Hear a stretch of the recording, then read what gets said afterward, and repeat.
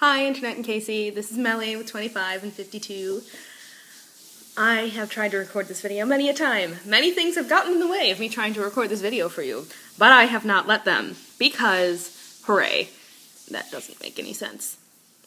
Well, it's Saturday morning. Um, I meant to do this on Wednesday, and then I got sick. Uh, well, not got sick, got sick, just like had my regular aches and pains. And then on Thursday, I dropped, I, uh, no, wait, hold on. On Thursday, I had work and then went straight to Rosh Hashanah dinner, and that was a little bit exhausting. And then on Friday, I dropped my phone in the toilet, and then I put it in a bag of rice. In the meantime, I tried to record using uh, Pat's phone. It turns out the iPhone 4 has a not very good microphone, um, so that was a little frustrating. And then this morning I took my phone out of the rice and it worked! Hooray! Anyway, today I am going to uh, Renegade Craft Fair, which is exciting and awesome, and I, I go pretty much every year. Um, they have a lot of different craftspeople selling their stuff. It's a lot of like repeats of the same types of things, but a lot of those are types of things I like. So I'm like, whatever. I'll see like eight leather workers, and one of them will have a bracelet or whatever that I want. Um, basically, that's just my way of saying I would curate it differently. Um, but who cares? It's hugely successful from what I understand. So that's my plan for this morning. At some point, I should consider doing laundry. I'm not sure what else is planned. Uh, but the important thing is my phone works. So I read a cool article the other day about Goya, you know, the um, uh, food company. Uh, I sell a lot of like, beans and Hispanic foods and stuff like that.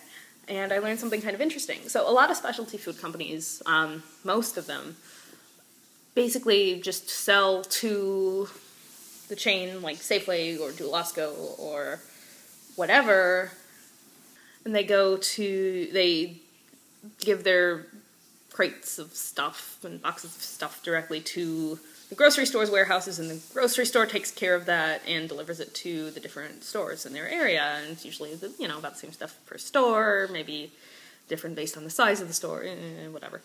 Um, Goya is different, um, and in that they deliver to individual stores based on the community there. So if there's a El Salvadorian immigrant community near one store, they'll take the staple, like, you know, in addition to the regular stuff that everybody buys, um, they'll take some of the specialty foods to that store.